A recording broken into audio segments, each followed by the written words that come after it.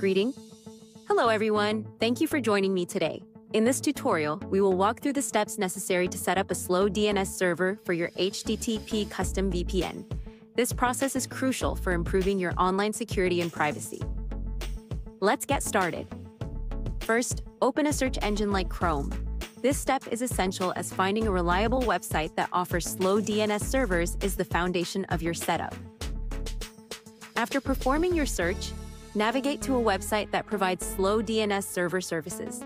Ensure that it is reputable, as this will affect your overall experience. On the homepage of the website, look for the menu button and tap on it. Among the options presented, locate and select Free VPN. This section typically contains free services that can enhance your internet experience. Next, select the SSH tunnel option. This feature is key to establishing a secure connection, which is what we want for our VPN setup.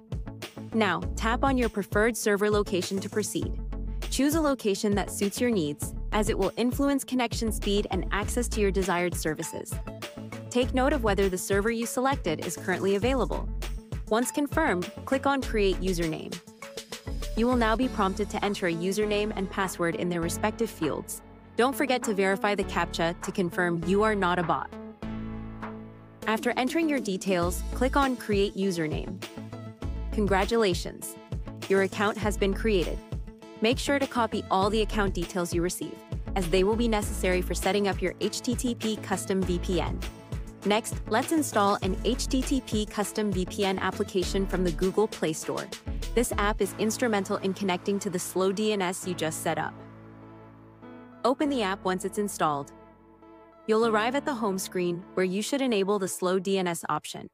This is a critical step in ensuring your connection operates through the slow DNS server. Next, tap on the puzzle icon to access the settings menu.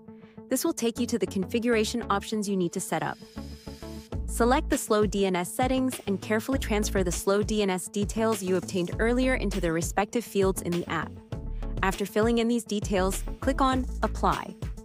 Additionally, enter all remaining account settings in their respective fields, as indicated on your screen.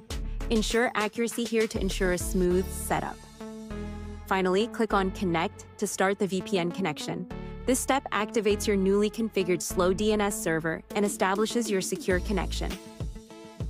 And there you have it. You've successfully set up a slow DNS server for your HTTP custom VPN. This tutorial not only guides you through technical steps, but underscores the importance of safeguarding your online activities and enhancing your privacy. Thank you for watching. If you have any questions or need further clarification, please feel free to leave a comment below. Don't forget to join our Telegram and WhatsApp channels for more support and valuable information. If you found this video helpful, please give it a thumbs up and subscribe to our channel for more insightful content. Your engagement helps us create more resources for you.